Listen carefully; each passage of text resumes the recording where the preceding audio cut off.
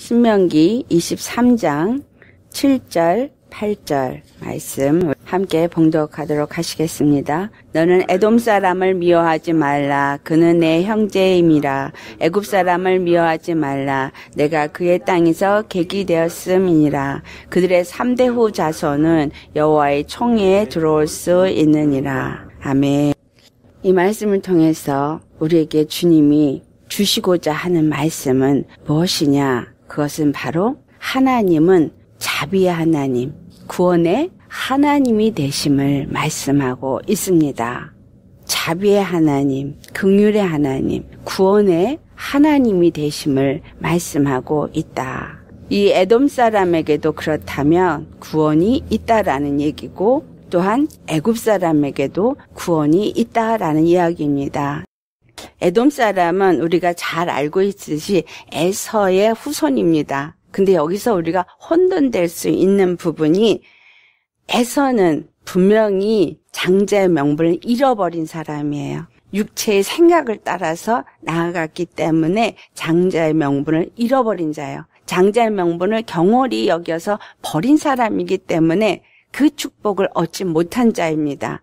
자, 이것과 7절에 있는 말씀을 혼돈하시지 않기를 바랍니다.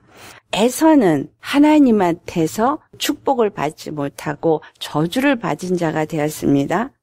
왜냐하면 에서를 하나님이 표현하시기를 망령된 자라고 말했으니까. 자, 망령된 자라는 이야기는 하나님이 없는 자를 망령된 자라고 말합니다. 히브리서 12장 16절에 에서에 대한 이야기를 합니다. 그는 음행한 자로 표현하고 있고 하나님이 없는 망령된 자로 표현하고 있어요. 하나님의 장자 명분을 버린 자는 하나님을 하나님으로 여기는 자가 안 된 자예요. 하나님을 하나님으로 여기지 아니한 자들은 당연히 여호와의 총회에 들어가지 못하죠. 그런데 이 에돔 족 속은 어떻게 해서 3대 후에 다시 그 총회에 들어올 수 있다고 말하느냐. 이게 아주 중요하게 우리가 오늘 깨달아야 하는 말씀입니다. 이 이야기를 살펴보기 전에 에스겔서 18장 2절 찾아보시겠어요? 에스겔서 18장 2절부터 4절까지 찾아보시겠어요?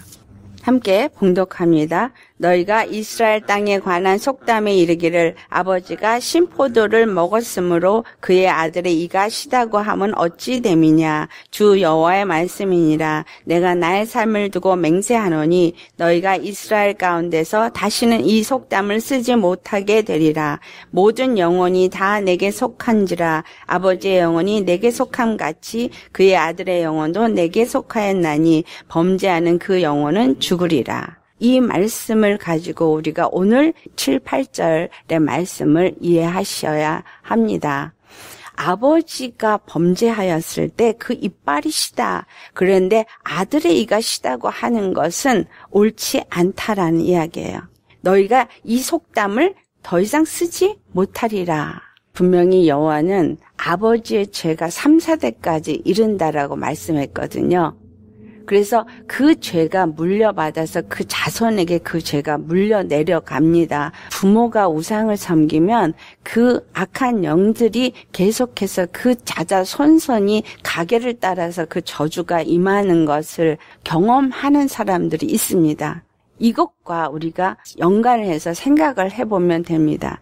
그 자손의 저주가 3, 4대에 이르게 되어지지만 하나님이 오늘 에스겔서 18장 2절에서 4절의 말씀을 두고 하신 말씀은 분명히 그 죄를 지은 자는 그 죄로 말미암아 죽게 되어집니다. 이 같은 말씀을 예레미야 31장 29절에서 30절에도 말씀하고 있는데요. 30절 말씀에 신포도를 먹는 자마다 그의 이가 신 것 같이 누구나 자기의 죄악으로 말미암아 죽으리라 이런 말씀을 합니다. 왜 에서는 그 장자의 총회에 들어가지 못하게 되었는데 왜 에돔의 족속은 3대 후에 여호와의 총회에 들어갈 수 있느냐? 이 말씀은 자기 죄악으로 말미암아 그 죄가 자기에게 임하게 되어진다라는 거예요. 이 말은 그렇다면 우리 신약에 있는 우리들에겐 어떤 의미를 전달하고 있느냐. 하나님 앞에 하나님을 우리의 하나님으로 섬기지 아니하고 육체의 정욕을 따라서 하나님의 축복을 버린 그리스도인들에게는 하나님에게 다시는 회개케 함으로 인해서 하나님의 장자의 그 모임에 들어갈 수 있는 기회를 놓쳐버린다라는 의미를 주는 것이고 에돔 족 속 3대 후에는 그들이 여호와의 총회에 들어갈 수 있다라는 이 이야기는 예수 그리스도로 말미암아서 모든 자에게 하나님이 주신 구원에 대한 이야기를 별도로 말씀하고 있는 것입니다. 십자가의 구원은 모든 자들에게 동일하게 주어진 겁니다. 모든 자에게 동일하게 주어졌지만 그 중에서 하나님을 하나님으로 여기지 아니었던 에서와 같은 그리스도인 예수 그리스도를 영접하고 그 안에서 예수님의 구원을 믿는다고 말하면서 그의 자손이 되어졌지만 그러나 하나님을 버리고 그 육체 욕심을 따라서 나아간 자들은 그 구원의 축복을 잃어버리게 된다는 거예요.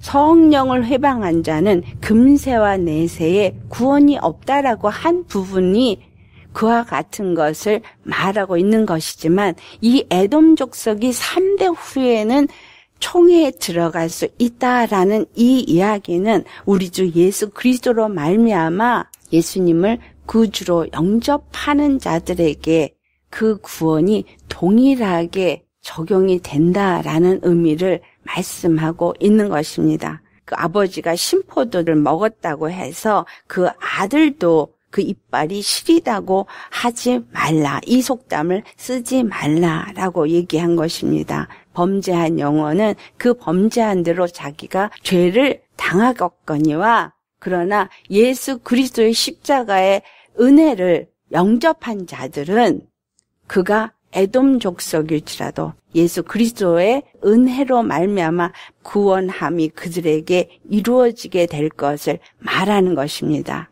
이 신포도주를 생각할 때 떠오르는 장면이 하나 있습니다. 그것이 요한복음 19장 30절이에요. 예수님이 신포도들을 받으시고 다 이루었다 하시고 영원히 떠나갔다라고 기록하고 있어요.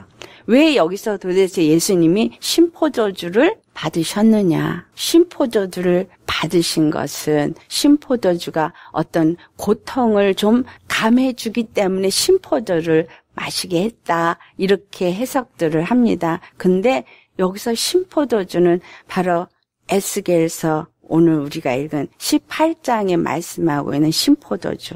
바로 아비의 지은 죄.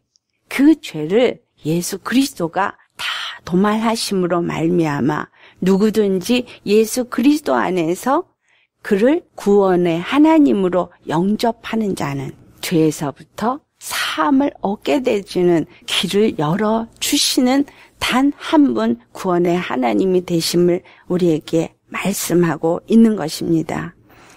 예수 그리스도께서 그 모든 고통을 그가 다 짊어지신 거예요.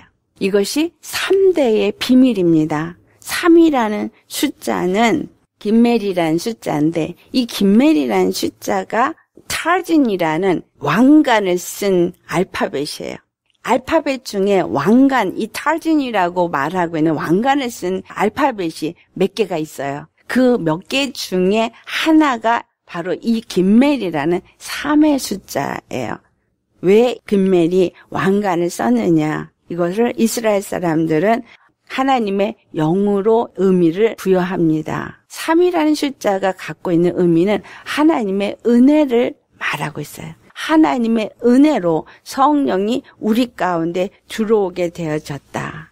십자가에 죽으시고 부활하셔서 왕 중 왕이 되어지시고 우리로 하여금 그 은혜를 입은 자가 되어지게 하시고 아비의 죄, 아비가 심포도를 마신 그 아비의 죄, 그 이빨이 시리게 되어진 그것이 자손에게 임하지 아니하도록 하나님은 그 구원을 베푸신 하나님이시다.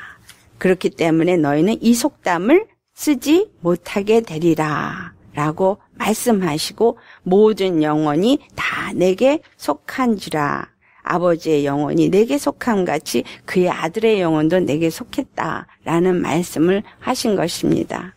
그러므로 인해서 애돔을 미워하지 말라는 거예요.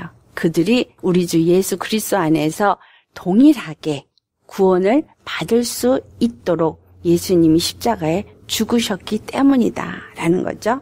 또한 애굽 사람도 미워하지 말라. 그의 땅에 객이 되었습니다. 그들을 괴롭히고 그들을 고통을 줘서 종살이를 하게 했던 그 애굽. 그래서 애굽 왕을 사단으로 상징한다라는 이야기를 제가 말씀을 드렸습니다. 그 사단의 백성이 되어진 자들은 이 땅에 살고 있는 모든 죄의 사람들을 의미합니다. 구약에서는 애굽의 백성과 이스라엘 백성으로 나누었지만 우리 주 예수 그리스도 안에서는 이방이나 유대인이 동일하게 구원을 받게 되어진다라는 이야기를 이곳에서 하고 있는 것입니다. 예수 그리스도의 자가의 은혜로 말미암아 애굽에 속한 사람들도 여호와의 총회에 들어올 수 있게 되어진다라는 이야기를 하고 있는 것입니다. 유대인이나 이방인이나 차별이 없이 십자가를 믿는 자들, 예수 그리스도의 구속을 믿는 자들은 하나님의 총회, 그 장자의 모임에 들어올 수 있게 되어진다라는 얘기를 하고 있는 것입니다. 에돔은 에서의 족속인데 에서와 에돔 족속을 다 연가를 해가지고 다 묶어서 말하게 되어질 때에는 어떤 의미를 주냐면 바로 에서가 지은 죄와 똑같은 죄를 짓고 있는 족속들을 말하고 있는 거예요. 하지만 여기서 말하고 있는 에돔 족속은 어떤 사람인가요? 육체로 그의 후손이지만 예수 그리스도의 은혜를 있고 예수 그리스도 안에서 십자가의 피로 말미암아 구속함을 얻은 자가 되어지는 것을 말하고 있다라는 거죠. 우리는 복음으로 3대 후에 그들이 여호와의 총회에 들어올 수 있다라고 말한 것처럼 복음으로는 우리가 하나님의 총회에 들어갈 수 있는 거예요. 그렇기 때문에 율법의 어떤 행위로 구원도 아니요. 또는 내가 어떤 죄악 가운데 있었던 죄의 후손이었다. 라는 것도 우리에게는 아무 이유가 되지 않아요.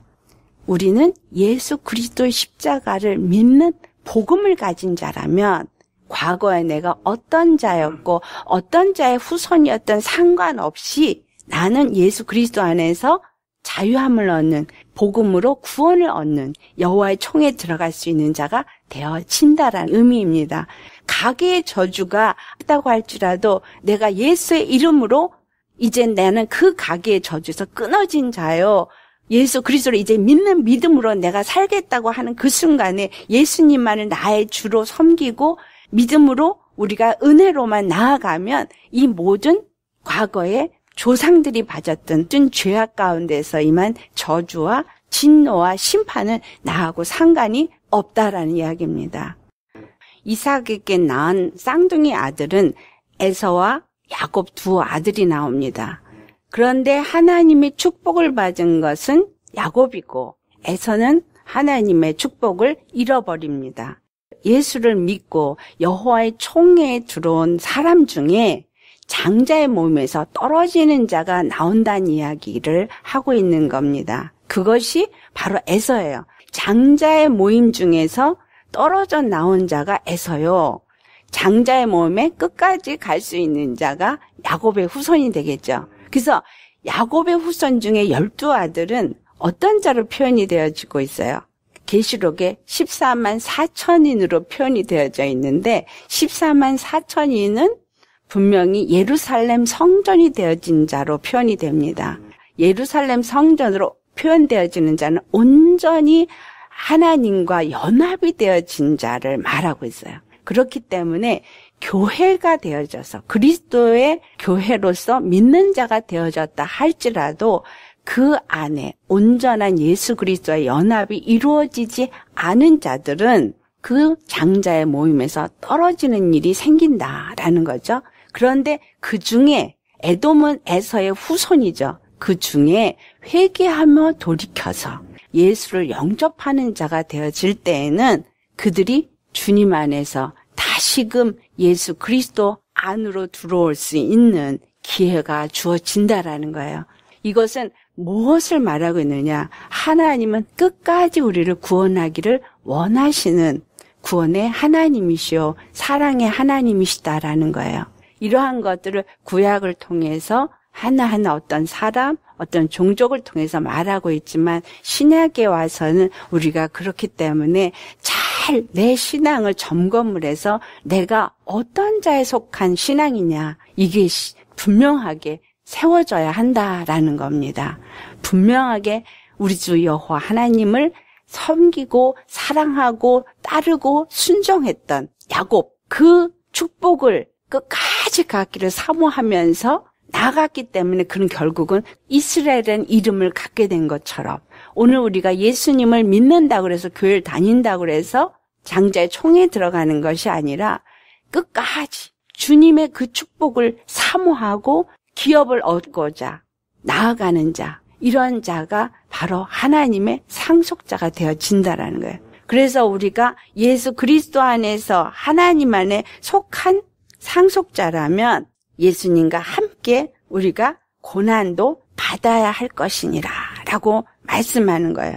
예수 그리스도 안에서 정말 끝까지 십자가를 지고 따르며 그리스도와 온전한 연합을 이루어가는 삶을 사는 사람, 그 사람만이 장자의 모임에 들어가는 자가 되어집니다.